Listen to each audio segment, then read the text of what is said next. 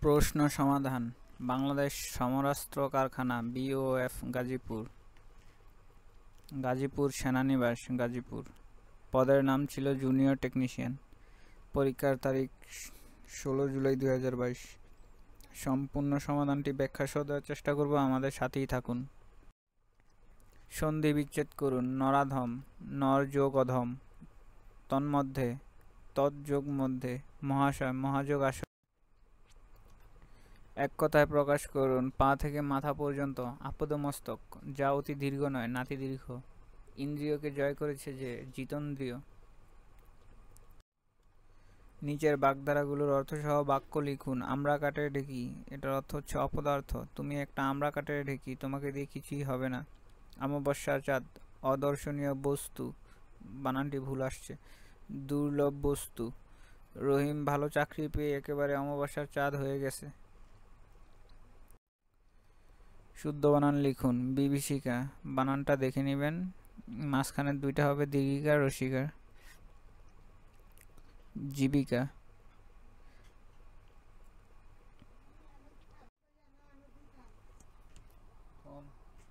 নিচের শব্দগুলো সিঙ্গুলার থেকে প্লুরাল লিখুন।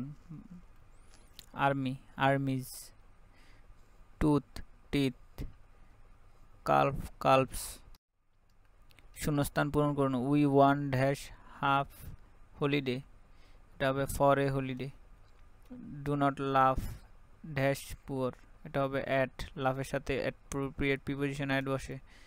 Life is not dash roses এটা হবে বেড অফ রোজেস এটা একটা ইডিয়মস যে জীবন কোনো সুখকর অবস্থা নয় আর কি। লিঙ্গ পরিবর্তন করুন।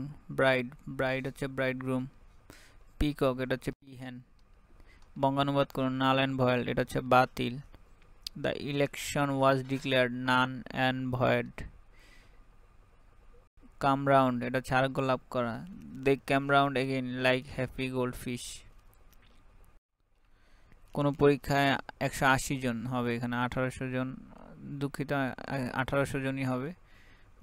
পরীক্ষার্থীর মধ্যে আট পার্সেন্ট অনুপস্থিত ছিল। উক্ত পরীক্ষা কতজন পরীক্ষার্থী উপস্থিত ছিল? সমাধানটি দিয়ে দিয়েছে, আপনারা সমাধানটি দেখে নেবেন।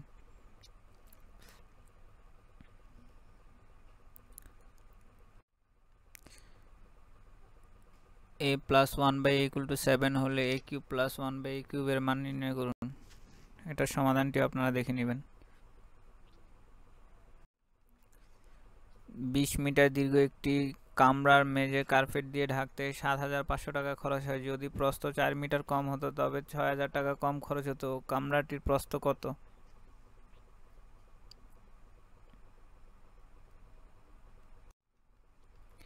বাংলাদেশের প্রথম রাষ্ট্রপতি কে ছিলেন? এটা ছিলেন শেখ মুজিবুর রহমান। আর অস্থায়ী বাংলাদেশ সরকারের অধীনে প্রথম রাষ্ট্রপতি ঘোষিত হন। এটা হচ্ছে সতেরোই এপ্রিল উনিশশো একাত্তর সালে। বিওএফ এর পূর্ণরূপ লিখুন। এটা হচ্ছে বাংলাদেশ অর্ডিন্যান্স ফ্যাক্টরি জাতীয় স্মৃতিসৌধের স্থপতির নাম কি? এটা হচ্ছে সৈয়দ মাইনুল হোসেন। বাংলাদেশ ব্যাংকের গভর্নরের নাম কি? এটা হচ্ছে বর্তমান গভর্নর যে কিছুদিন আগেই যোগদান করেছেন, তার নাম হচ্ছে আব্দুর রৌফ তালুকদার।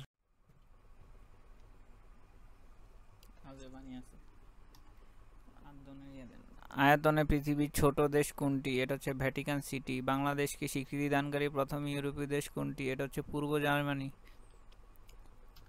বাংলাদেশের জাতীয় সঙ্গীতের রচয়িতাকে এটা হচ্ছে রবীন্দ্রনাথ ঠাকুর কর্তৃক উনিশশো পাঁচ সালে রচিত হয়েছিল। দুই হাজার বাইশ সালে ফুটবল বিশ্বকাপ কোথায় অনুষ্ঠিত হবে? এটা হচ্ছে যে কাতার। ধান উৎপাদনে বাংলাদেশ বিশ্বের কততম? এটা হচ্ছে তৃতীয়। পৃথিবীর বৃহত্তম ম্যানগ্রোভ বন কোনটি? এটা হচ্ছে ওমের সূত্রটি লিখুন, উষ্ণতা এবং অন্যান্য ভৌত অবস্থা অপরিবর্তিত পরিবারের মধ্য দিয়ে প্রবাহিত তড়িৎ প্রবাহ মাত্রা দু প্রান্তের বিভব পার্থক্যের সমানুপাতিক। ব্রেজিং ও ওয়েল্ডিং বলতে কি বুঝো? দুই বা ততোধিক ধাতুকে জোড়া দেওয়ার সময় তাদের না গলিয়ে জোড়া স্থানে অলৌহজাত ফিলার ধাতু গলিয়ে জোড়া দেওয়াকে ব্রেজিং বলে। ওয়েল্ডিং একই ধাতুর তৈরি দুটি অংশ বা দুটি বস্তুকে গলিত বা অর্ধগলিত অবস্থায় চাপ প্রয়োগে বা বিনা চাপে স্থায়ীভাবে জোড়া দেওয়ার পদ্ধতিকে ওয়েল্ডিং বলে। ধন্যবাদ আমাদের সাথে থাকার জন্য।